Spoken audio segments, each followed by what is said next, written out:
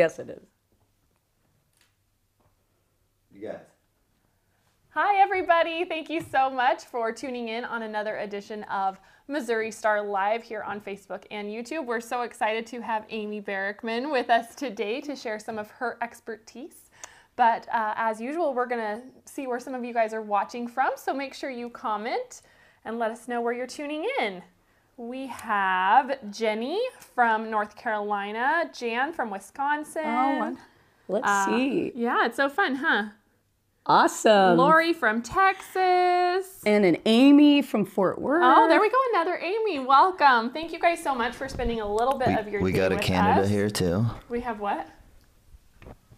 We have a cameraman talking as No, no, well. no. S- No, someone from Canada. Oh, we have someone from Canada. And I'm back just so you guys know. Awesome. I'm and sure you miss me. We have our helpful uh, cameraman also tuning in to help answer some of your guys' questions or ask some of your questions.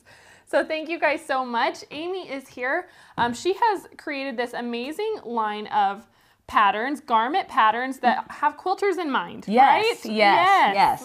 the Indygo Junction line has always focused on working with quilt cottons first and foremost. Okay. So many of our patterns offer the quilts, uh, cottons, but we also are now showing some of the wonderful new fabrics on the market. Right.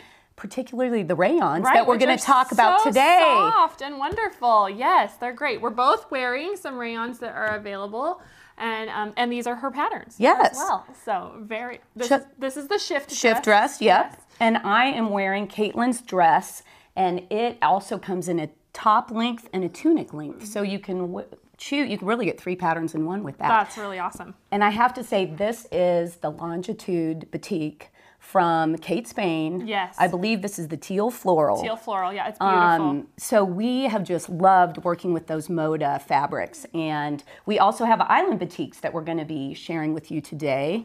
Um, so it's really exciting to Yeah. be able to tell people more about rayon and get them inspired to sew. Yeah, exactly. I think it, hopefully we can alleviate some fears if you haven't tried garment sewing, um, moving from regular quilting into garment sewing because these are some really great um, simple patterns, and Amy's going to share some great tips with us. So That's the plan. That's the plan. Oh, also, before I forget, um, she has provided this great um, PDF.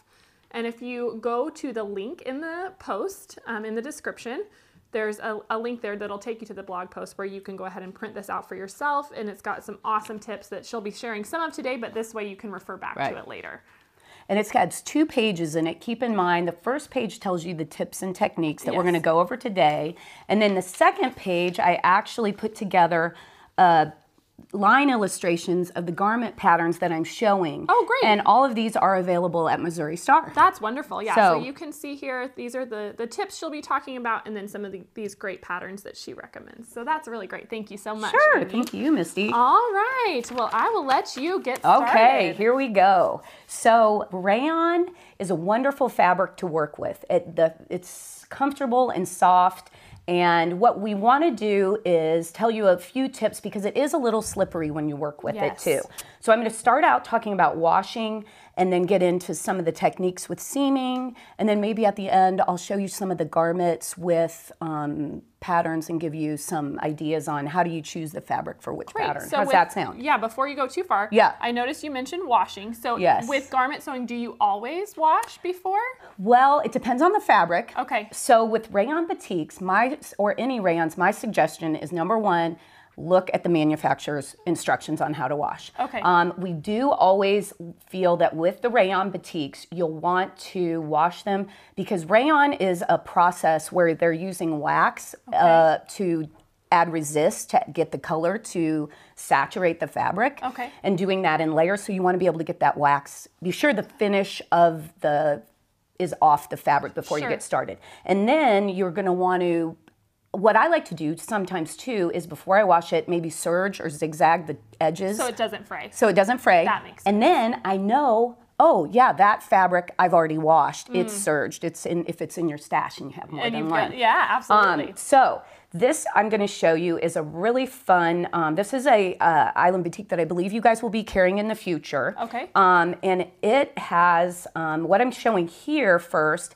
is how you would pull a thread to get the straight of the grain before you're going to lay your pattern pieces on and cut out your Okay. pattern pieces. All right, let's clear some of this Oh, extra let me show out. one Oh, thing first. Okay. Sorry. Sorry. No, this is fun. Wanted to make it's sure live. we, we could see. um, yes, this is marking the right and wrong side. So I use painter's tape to mark the right and wrong side. Okay. Which sometimes it can be very similar. So just that's why I had that to Okay, show you great, yeah. marking it. And then once you cut it out, you'll be sure you're sewing on And the correct. And you just mark that after you've washed it, though, right? Yes, exactly. Because it won't go through the wash Yeah, like that. yep. Okay. And then um, what I have here is you can see here where I clipped um, a, a little, took just off the selvage edge. Mm-hmm. And then what you'll find in here is a thread. And you can see where I've already started to pull that thread. Mm-hmm. And then right here, you'll see this where that thread has been Yeah, hopefully they can see yeah, that- that and I had little line. another example of that too.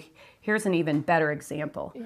So right there, you can see where I've pulled that, and then here's where we would actually eventually cut along that to get Your the straight- straight, of the of grain, grain. perpendicular to our selvage. Okay. So that is tip, and you can feel that fabric. I know it is it's just so soft. beautiful to work with. Yeah, it's a really dream. Beautiful finish. And speaking of that, while we're talking about working with it, um, you can just use a regular foot on your machine or a walking foot. Could be, if you have Okay. a walking foot, it can really um, those pull the, that fabric flu, through, but it's not necessary. Okay.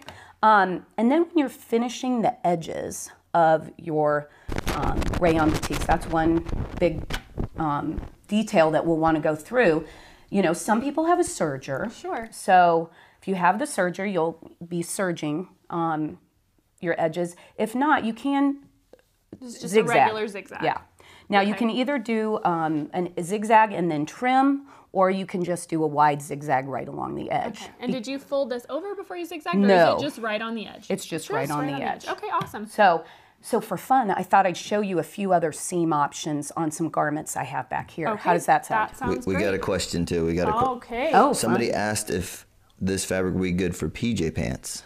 Oh, it would be fabulous. it would be heavenly. yes. For yes. PJ pants. Yes. Oh, yes. It really would. It's so soft and so Mm. comfy. I think you will love it. So- Yes, and because it's like a natural, it breathes really well too. Oh, so. that's good to know. Yeah. Um, okay, so I'm going to start out with this is our easy on top, and it is in the Mai Tai print from Island Batik, another print that you'll be carrying. Um, and this is um, what I have here that I'm going to show you. Let's get it where you can see can it. see, This is where we've zigzagged um, the edge. Okay, And yeah. Maggie actually made this for us, and she did not use the serger, so she, she zigzagged the seam there. Okay. Um, and then later we'll talk a little bit about rolling the hem. But um, that's one option. And then this is an example. Um, I'll show you. This is our gathered back okay. Um, tunic. This is one of Jenny's favorites. Yeah. Jenny loves this one. She has a Um, but look, she's made. isn't that It's so pretty. Yeah. beautiful? Okay, so now I'm going to show you what the seam looks like when we've actually Serge. serged and pressed opened.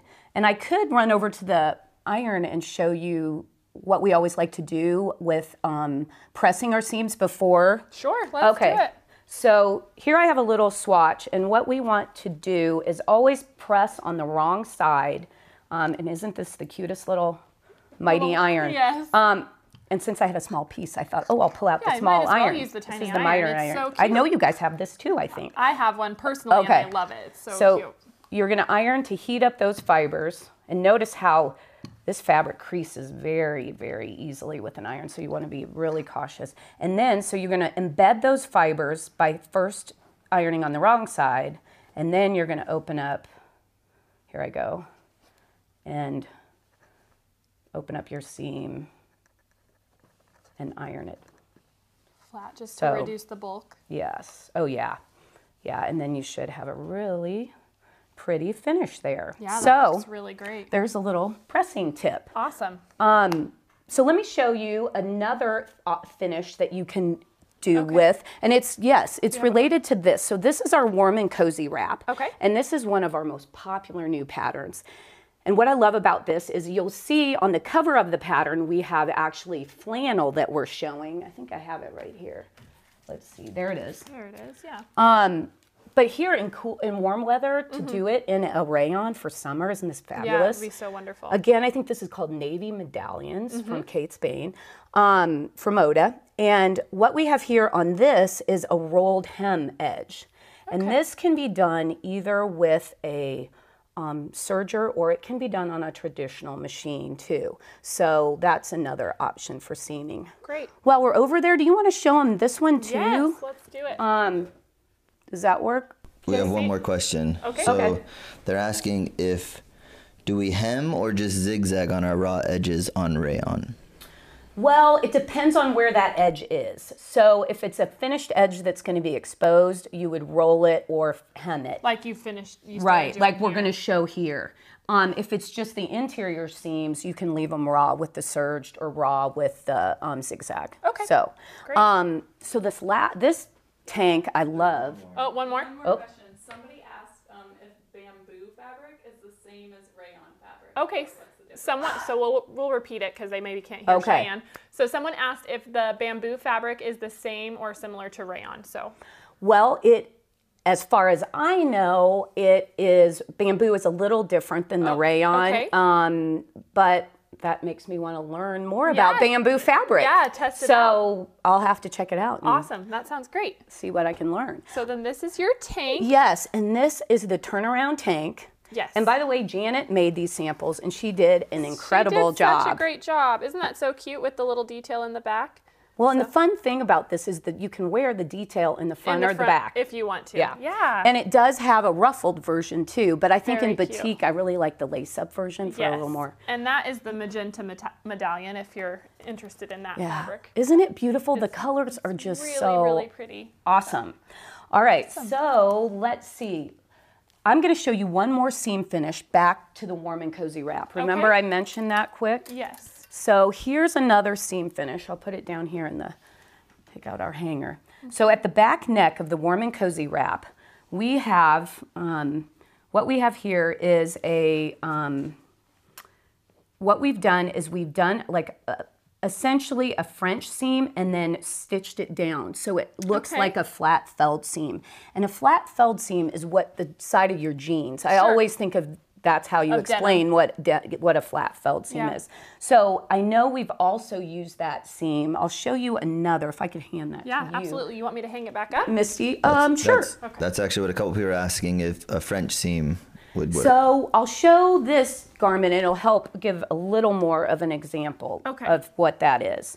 Um, this one might be sewn down as well, but really, what you're doing with a French seam um, is you're encasing the seam allowance. Right. So And there's no raw edges. Right. And then on this one, again, is an example of where we've stitched down that um, that French seam, and then we laid it and stitched it down. So that's the instruction on the, and this is a fun pattern that I love for the batik. It's our everyday tank, and it just has really nice coverage on the arm and shoulder, and it really fits nicely. Um, a lot of Yeah, different it's shapes and sizes cute, of people. very Yeah. cute. we had a question of where the patterns are available. Um, so, so if you go to that link in the post that will take you to our blog, there is a link in that blog post that um, says where you can buy all of Amy's wonderful patterns that she's showing you today. So, Yes, we have we have many to share. yeah, lots to share. So many Um, great everyday items that are, are comfortable and and good for all Right. all shapes and sizes. Yep. So yeah. Well, in fact, I'll show you an example of one that I think is one of our favorites when it comes to a shirt style. Okay. And this is the button back shirt.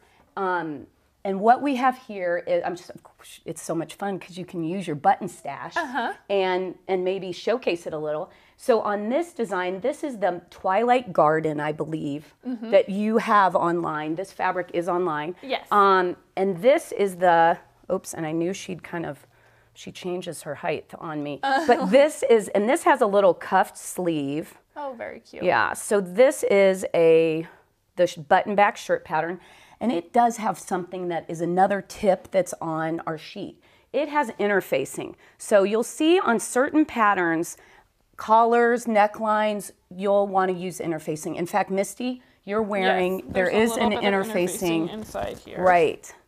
So the types of interfacing we like to use are non-woven, usually woven or non-woven. Fusible we use sometimes. Okay. I'll show you a quick tip for fusible. How All does right, that, sound? sounds great. So with They they want to know the name of the pattern company. Indygo, Indygo Junction. Junction, yes. Yes. There it is. Right there. Thank you. You're welcome.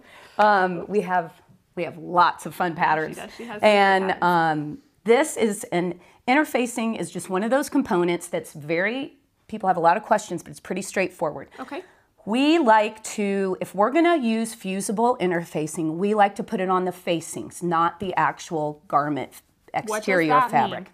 Well, this is a facing Okay. that is the facing that we would put in the neck neckline of the easy on top or tunic. So it's just a rounded or neckline So like that's this. that's what's inside Right, that's giving it extra stability, right? right, right, interfacing. Okay. Yep. But, but when you say facing, does that mean The facing then is the actual piece that you have on the inside right here. okay? Okay. Does that?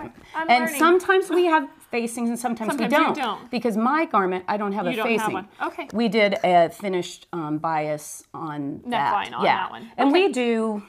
I mean, we have instructional tutorials on how to do that kind of a finish because it is, you want to actually press your Mm-hmm. bias if you're doing a, a curved edge without a facing. Sure. Okay. But with a facing, using the fusible, this is a non-woven. I think it's from Bosal, um, and we pink the edge um, on our non-stitched edge of our um, facing and the fusible. So then you'll get a transition. So when you look on it from the, you know, it just gives you a transitional um, area. So you don't have that edge of that gummy fusible at the very edge of your fabric. And just so kind of overlaps and covers right, that up. That right. makes sense. And then, and let's look. Somebody had asked about hemming too. So you want me to look yeah. show you about that yeah, piece can, too? We can jump back to that. So this is showing where we took a serged edge um, of the, say, the bottom of a curved hem, and we serged it, and then we pressed it, and then what I'm showing you, so this is kind of step one, pressed. Back here, over here you'll have where then we actually ran a basting stitch Okay. by hand. So we sh- were sure we pressed and basted it by hand. So when we eventually put in our actual seam that was going to be shown, say on the front of the garment, it we'd get a really nice finish, no puckers. Um, so keep in mind, basting can be really helpful. And I'll say too, you know, if you're new to garment sewing and trying in one of our patterns, we do have sizing charts to help you figure out which size. We even give you sometimes the finished garment size. But one idea is to actually make like a muslin test garment just to be sure you've got the fit you want before you cut your beautiful Your beautiful fabric. your beautiful rayons. Um, and one other pins. That's another tip that's um, I don't want to forget to talk about. Okay. I very fine thin pins work well for the the batiks. Okay. And be sure to pin in excess because again, this fabric is somewhat slippery Yeah, when they're- you're working with it. you're gonna have a little it. bit more movement than your standard quilter's yeah. pattern, for sure. So these are a couple. Here's some um, of the patchwork pins that were fine pins And these are and extra glass fine. head. Love glass head pins because you can iron over those. Right. Yep. Um, So- another question. Okay. Um, they wanted to know if they could use linen and what other materials could they use for the pattern. Okay, so we had a question about other materials that could be used. So, Well- so you want to dive in? Sure. we sew up our our patterns in a variety of fabrics. We have knits, rayons, linens, lawn, gauze. You guys have some great gauzes. Yeah. Um, if cotton and steel is one that we love to work with. Moda. Um, there's so many great fabrics on the market today that I feel like that's part of why we've had so much fun and success with our garment patterns is there's just beautiful fabrics out there. Beautiful, high So, quality fabrics yeah. to choose from. It's true, yeah. Well, I could show you a few more of the garments we've made in rayons. Okay. And talk about maybe those for a minute. Sure, that Okay. sounds good. Um, so I mentioned the everyday tank. Here it is in a magenta. Um, this is a batik, um, and you'll see just sometimes what I find is working with a more solid batik. Mm-hmm. You can are you can definitely move into some of the um, patterns such as this, which is this is the batik Oh yeah, this is the that you're wearing. wearing. But look how different Yeah, they look. It looks totally different. But in my mind, I would use, I'm going to take this and show you. Like, for instance, I wouldn't necessarily maybe do the full dress in such a, you know, complicated print where I like the simplicity that Right. in when I'm when we're doing dresses. Um, then I'll finish. We'll fix that. Um, this again is another example of that warm and cozy wrap we talked about earlier. Um, that is there to your left. The gathered back. Let's go into a couple that I haven't shared. Okay. This is one that really uh, showcases serging. And this is called the Modern Medley Top and Tunic. And again, it- look, it's the Twilight Garden from Island Batik. Um, so you can see on this one, we actually use the serging as a design element in the garment. Yeah. And you can see we either layered the, essentially a facing that's on the outside Mm-hmm. of the garment um, and just serged along the edge. And then here's an example where we actually seamed it but we just left the exposed seam versus layering it and that's Yeah. seaming it together Yeah. but this this actually has been a pattern that you know we've been in business for 27 A years long misty yes. and this was a pattern that was out um, years ago that we've re um, re-released because it's been so popular That's great. and um, just a timeless and it comes in a short style too That's great. so that's the modern medley We got a few questions. Okay. Okay. Somebody asked if it wrinkles like crazy, and then another person Mm. asked if uh, you could explain the washing instructions for rayons. Okay. Does it wrinkle? Um, yes, it wrinkles, but it, um, especially like right after you washed it. But usually, what I do is shake it out and then hang it to dry. And once it's ironed, I don't have as much of a. I mean, I, well, I don't have the. I wore a different shirt here, but the same pattern. Yes. And I was going to say, well, I had my seatbelt on. Yeah. And um, but it, it really looks great when I got out of the car. Yeah, so it's gonna not like linen where you're gonna. where you're gonna get more wrinkles all day Yeah, long. right. It's not like that. It's pretty forgiving once it's been pressed into place. I Right, think. that's but the you way I do, feel. It does take a little bit of maintenance. Um, to Right iron, but- after but, you so wash does it. quilter's cotton. So if you Yeah. make a garment with quilter's cotton, you're gonna run into the exact same thing. I'd say it's really similar. Yeah, it's not excessive. No. Um, and when you wash it, I would wash it on the cold and in a gentle cycle, um, gentle detergent, and then um, you can tumble drive low with a lot of the manufacturers recommend that. But I always, again, emphasize go online and read what the manufacturer says Yeah, as to just to how to, care for the fabric. Yeah, be because safe. I was so sad. I had a beautiful rayon top that I loved, and I'm sure it was not super high quality, but I'm very tall, and I dried it, and I got to wear it that one time, and that was it. it was a little short. it was really short. So, so yeah, Yeah. make sure you check. that can We happen. We also had a question about the yardage. If you can find the yardage amount on the on the uh, pattern description yes. to buy them at the same time. Well, and this is a good example. Here are two different examples of uh, the backs of our patterns. Sometimes we have a color picture that shows you another um, version of a garment, but we try to get the ins- the information on the back cover. And um, I know that's actually, I think, posted on um, your website and our website. You can go see. Yeah, it should be if you click through the pictures to Um, right. see. And this one um, gives you more versions. Sometimes we'll say, you know, see enclosed list for notions and additional fabric Mm-hmm. requirements. But the that we do try to To have make there. that as apparent for people. And that's what's the beauty is with your phone. If you're at a fabric store and you see right. fabric, you can look it up. There's all kinds of questions. We're getting tons of them. So Um, Oh, they want to know how large your sizing is and if the patterns are good for beginners. That those are two of the best questions Yeah, she's ever. so glad you asked. yes, I am because I did not want to forget to tell you that. Yeah. So our sizes go from most of our new patterns go from extra small to 3x. Okay.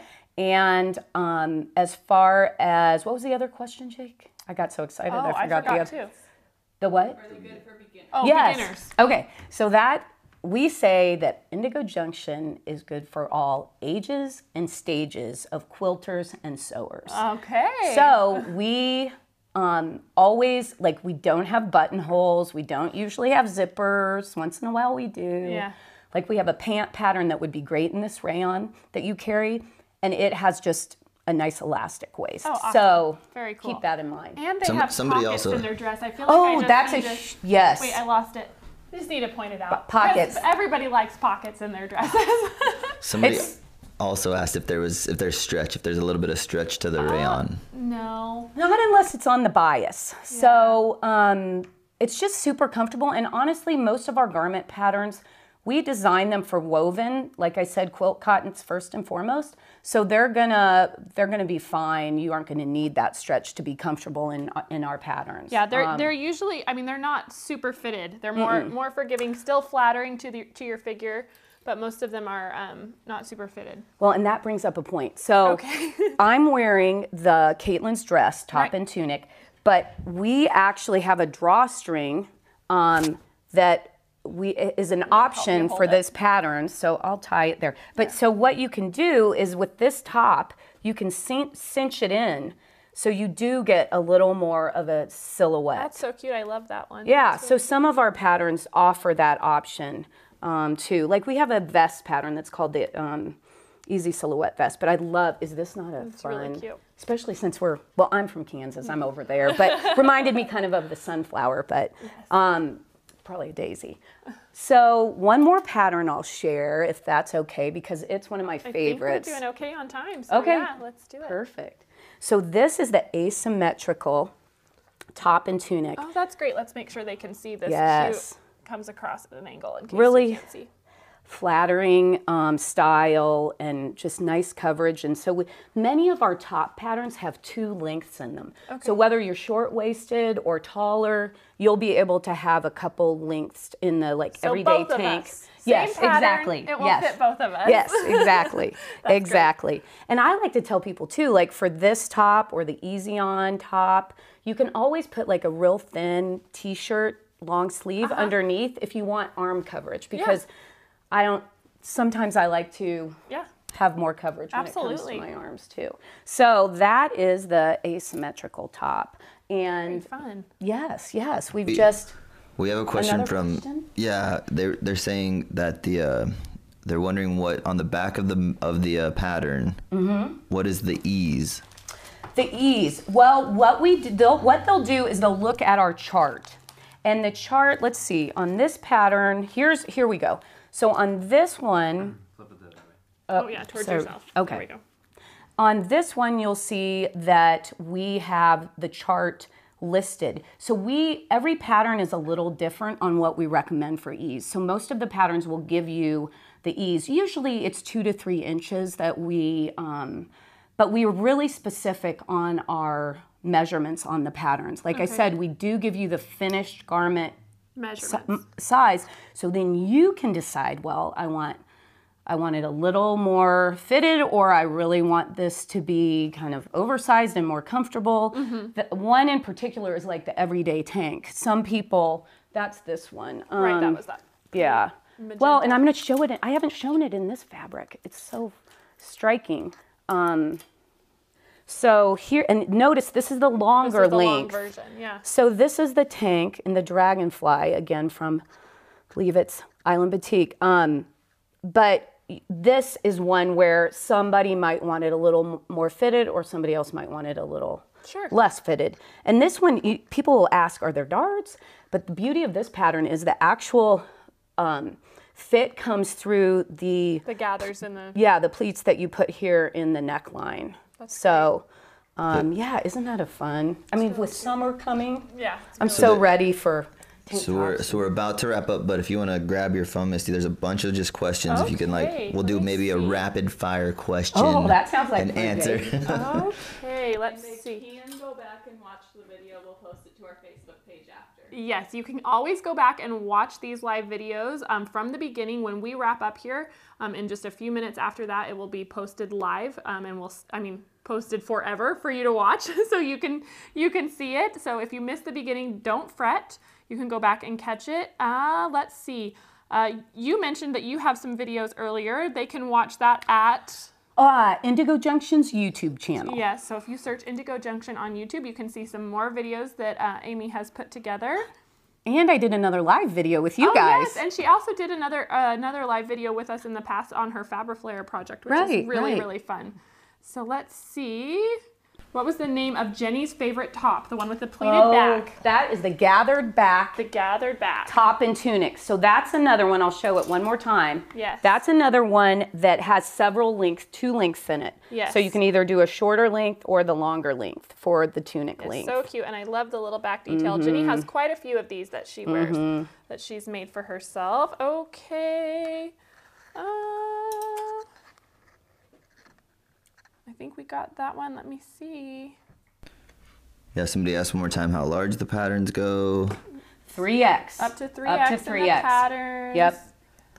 They And- love that there's no buttons or zippers. Yes. It's so great. We So- use those, sometimes we use those giant snaps. So if we do need a closure, like on a jacket, we'll use the snaps and then just put a button on the outside On of the the, face of garment. Yeah. Yeah, that's So that's a Well, little awesome, trick. Awesome. Well, thank you so much. Oh, this was so much was fun. great. Yes, I really enjoyed having you, and and we appreciate you guys spending a little bit of your Tuesdays with us. Thank and, you. Uh, we'll see you next week. Have a Well, great and day. I just want to remind you if we didn't get to your questions, Oh, we're going to be answering questions in the comments and we will try to get to them if we can.